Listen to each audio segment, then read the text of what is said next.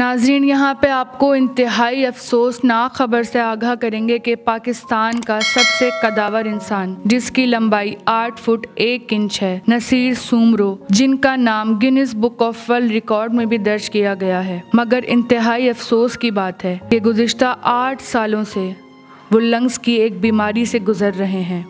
और इनका गुज़र बसर सिर्फ़ ऑक्सीजन पर हो रहा है, जिसकी वजह से वो इंतहाई दर्दनाक ज़िंदगी गुजार रहे हैं।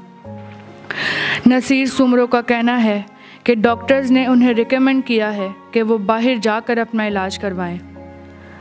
बाहर ही इनका इलाज मुमकिन है, लेकिन माली हालात के पेश नज़र वो बाहर जाकर इलाज नहीं करवा सकते।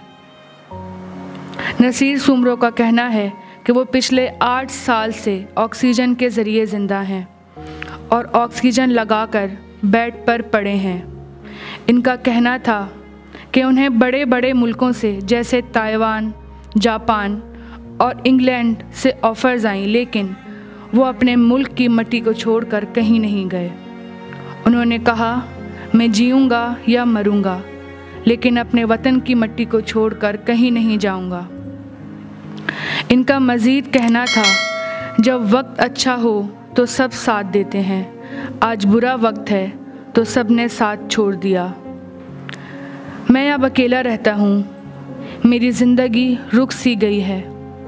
नसीर सुमरों ने बताया कि उन्होंने इमरान ख़ान को और वज़ी अला सिंध को बहुत खतूत भेजे, मगर कोई जवाब ना आया। मुझे बहुत दुख हुआ। मैं पाकिस्तानी नहीं हूँ। जो मेरे साथ ऐसा सलूक किया जा रहा है। उन्होंने कहा कि अब ये चार दीवारी है और मेरी तन्हाई है। कभी कभी दिल भर आता है तो रो पड़ता हूँ। बस मेरे अल्लाह से ही मुझे उम्मीद है कि अल्लाह जो करेगा, बेहतर करेगा। नसीर सुमरों ने पाकिस्तान के तमाम मुहैर हजरात और चेयरमैन बहरिया टाउन मलिक रियाज से अपने इलाज के लिए अपील की है, क्योंकि हुकूमत से तो वो बिल्कुल नाउमीद हो चुके हैं। वो शख्स जिसने आधी दुनिया की ऑफ़र्स ठुकरा कर पाकिस्तान की मिट्टी को गले लगाया, वो आज बिल्कुल बेयारो मददगार पड़ा है। बहसीत कौम, ये हमारे लिए लम्हा फ़िक्र है। मज़ीद अपडेट्स के लिए देखते रहें। Prime TV.